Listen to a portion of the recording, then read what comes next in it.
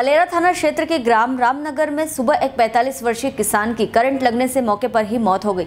गाँव के लोगों एवं परिजनों ने बताया कि राजेंद्र पाठक बिजली विभाग के लाइनमैन अजय के कहने पर गाँव में बिजली विभाग का काम करता था, जिसमें आज राजेंद्र पाठक के द्वारा लाइनमैन अजय से फ़ोन पर परमिट लिया था।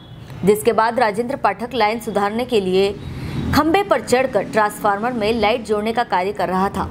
तभी अचानक लाइट आ जाने से 45 वर्षीय राजेंद्र पाठक को करंट लगने से उसके शरीर में आग लग जाती है तो उसकी मौके पर ही मौत हो गई।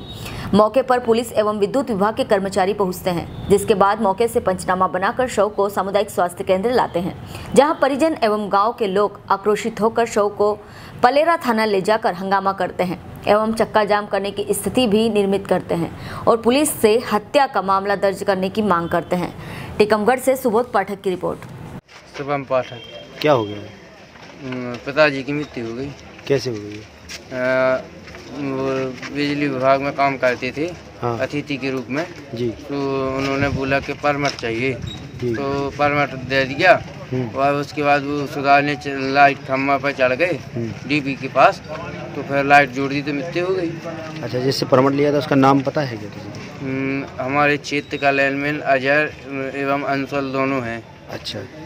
मुझे नहीं पता कि परमिट किससे लिया जाता अजय से या अंशुल से कितने बजे की घटना है? ये? घटना है करीबन आठ साढ़े आठ नौ बजे के करीबन की है।